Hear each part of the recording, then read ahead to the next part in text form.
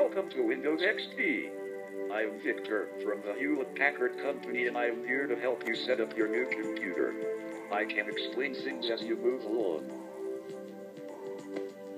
Anytime you need help, just click me with a mouse or press the F1 key. I'll be right here if you need me.